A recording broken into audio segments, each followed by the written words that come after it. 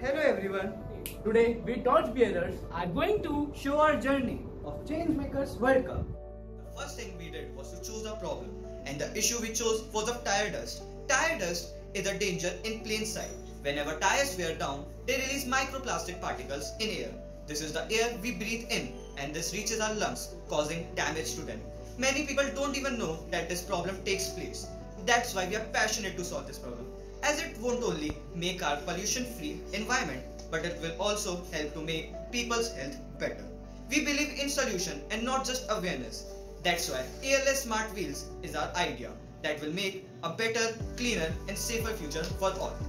We started by studying how environmental damage is caused by wearing of rubber tires and later when they are discarded, we discussed around the issue, Uh, did online and offline meetings and developed the prototype airless smart wheels. We discussed many aspects of it, making it people friendly. Then to make people aware about potential environmental degradation caused by rubber tires, we did campaigns also introducing them to our idea airless smart wheels. If people move ahead of themselves and start to think about the world, it will become a better place to live in. If there is a shift from using rubber tires and people start using airless smart wheels, the future will be much safer and a major threat of tire dust can be eliminated. In the future, we want to take this idea to the top of the world. In a world where people use smart vehicles equipped with airless smart wheels, there will be almost no pollution and we won't see anyone coughing around the streets. There will be a drastic change in tire and automobile industries which will drive the world to a faster and more environment friendly path. This is our vision as change makers for a world where there is no such pollutant as tire dust.